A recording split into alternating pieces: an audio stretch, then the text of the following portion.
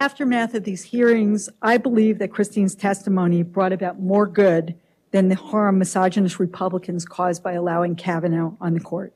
We were going to have a conservative. Elections have consequences.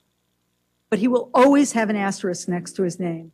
When he takes a scalpel to Roe v. Wade, we will know who he is, we know his character, and we know what motivates him. And that is important. It is important that we know, and that was part of what motivated Christine. We all know